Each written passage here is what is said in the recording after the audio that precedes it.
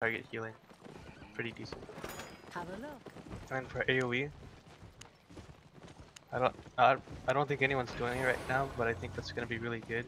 Is the one-handed nature staff with the new censer. And a censer is a new Avalonian